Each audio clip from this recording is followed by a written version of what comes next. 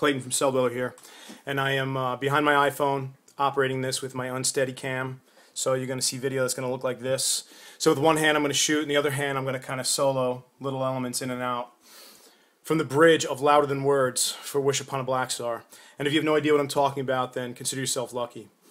So uh, I spent a few hours last night bouncing in some of my hardware synths, like my Virus TI, some software synths, um, bouncing them in as audio, time correcting them to the groove of the track.